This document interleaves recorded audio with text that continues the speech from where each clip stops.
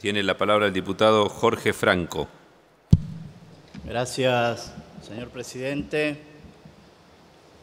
Buenas tardes, señor jefe de gabinete. Gracias por visitarnos. En realidad, un comentario y una pregunta.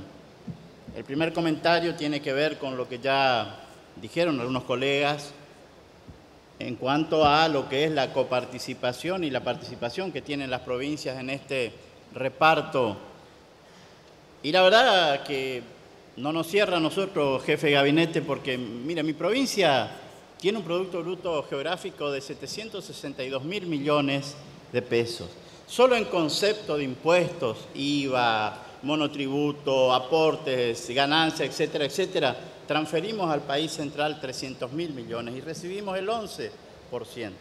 Aplaudimos toda cosa de que se nos devuelva a fondo, pero le queremos decir que es un derecho nuestro porque es nuestro dinero que ha venido para acá. El país central todavía está en deuda con Misiones y con muchas provincias argentinas. Pareciera ser que ahora fue Capital Federal la única que salió bien parada en esta cuestión. Por lo tanto, creemos que nos asiste el derecho a recibir cosas y recibir más todavía para paliar algunas asimetrías, como por decir una, la falta de gas natural.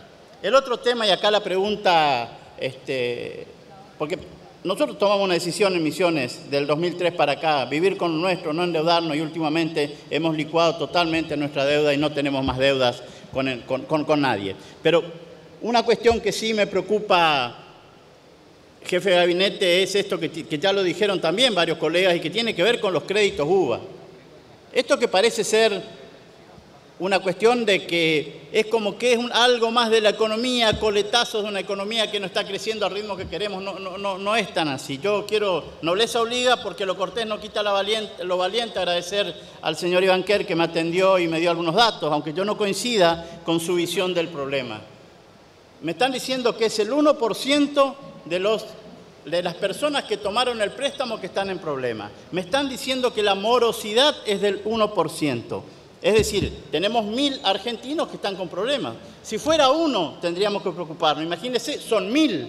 Y yo no creo que se tenga que decir que como va a haber un crecimiento del salario eh, por las paritarias el año que viene, yo no creo que tengamos que decir, esta gente se capitalizó, antes pagaba alquiler, hoy tiene una casa y se está capitalizando, como que eso es la solución. Esta gente, los que siguen pagando y no están morosos, lo están haciendo privándose de un montón de cosas, entre ellos de alimentos y de comodidades para su familia. Por eso no están morosos. Pero se nos viene, valga la figura que hizo el compañero, un tsunami. Es un problema que tenemos.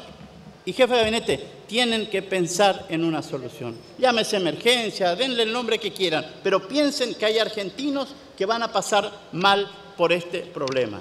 Miren, uno a la política la puede ver como la forma de que la gente esté bien, porque la gente es de carne y hueso, tiene alegrías, tiene tristeza y quiere vivir. O también la política se puede ver como que cierra una planilla de cálculo. Nosotros pertenecemos a los primeros. Nosotros queremos que la gente esté bien. Aunque sea un solo argentino, se merece la atención para resolverle este problema. Muchas gracias, jefe de gabinete. Gracias, señor diputado.